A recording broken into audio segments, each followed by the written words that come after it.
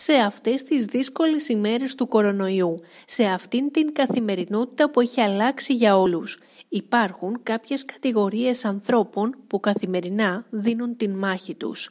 Αυτοί οι άνθρωποι που είναι εργαζόμενοι σε σούπερ μάρκετ, σε επιχειρήσεις που παραμένουν ανοιχτές, οι γιατροί, οι νοσηλευτές και όσοι συνεχίζουν να προσφέρουν και να εργάζονται ενώ η πλειοψηφία είναι στο σπίτι.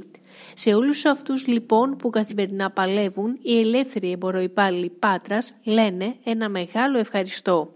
Εμείς οι ελεύθεροι εμποροϊπάλληλοι θέλουμε να πούμε ένα τεράστιο ευχαριστώ σε όλους τους συναδέλφους, εργαζόμενους που δουλεύουν στα σούπερ μάρκετ αλλά και σε όλο το νοσηλευτικό προσωπικό σε αυτές τις δύσκολες εποχές δείξαν ότι μπορούν να κρατήσουν μια χώρα στα χέρια τους, δείξαν ότι είναι πραγματικοί ήρωες. Σας ευχαριστούμε πάρα πολύ.